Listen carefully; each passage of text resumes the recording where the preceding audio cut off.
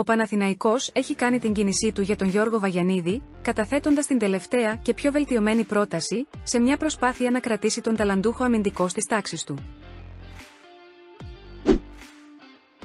Προτού προχωρήσουμε μην ξεχάσεις φίλε ακροατή να κάνεις like στο βίντεο και να εγγραφτείς στο κανάλι μας για να μην χάνεις κανένα αθλητικό νέο.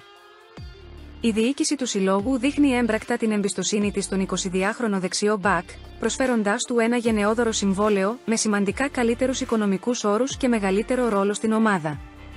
Ο Βαγιανίδης, ο οποίος έχει δείξει τεράστια πρόοδο, αποτελεί ένα πολύτιμο κομμάτι για το κτριφύλι και ο Παναθηναϊκός είναι αποφασισμένος να τον κρατήσει στην Αθήνα. Ωστόσο, η απάντηση του νεαρού αμυντικού παραμένει άγνωστη. Ο Βαγιανίδης ζυγίζει τις επιλογές του, καθώς γνωρίζει πως το ενδιαφέρον από άλλες ομάδες είναι υπαρκτό και ουσιαστικό. Ο Παναθηναϊκός, παρότι έχει κάνει την καλύτερη δυνατή πρόταση, βρίσκεται σε αναμονή, ελπίζοντας να πάρει τη θετική απάντηση του παίκτη, που θα σηματοδοτήσει την παραμονή του στην ομάδα.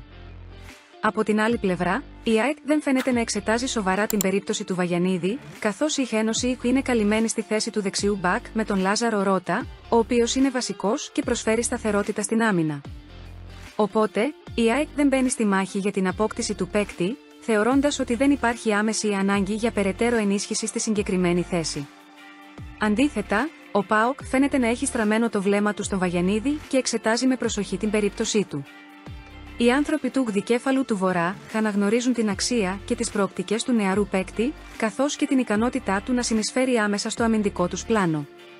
Ο ΠΑΟΚ δεν έχει κάνει ακόμα επίσημη κίνηση, αλλά πληροφορίες αναφέρουν ότι το όνομα του Βαγιανίδη βρίσκεται ψηλά στη λίστα τους. Με αυτές τις εξελίξεις, η υπόθεση του Γιώργου Βαγιανίδη βρίσκεται σε κρίσιμο σημείο. Θα αποφασίσει να παραμείνει στον Παναθηναϊκό ή θα αναζητήσει μια νέα πρόκληση, με τον ΠΑΟΚ να αποτελεί μια σοβαρή επιλογή, η απόφαση του νεαρού αμυντικού αναμένεται να καθορίσει το μέλλον του σε συλλογικό επίπεδο, με το ενδιαφέρον να κορυφώνεται μέρα με τη μέρα.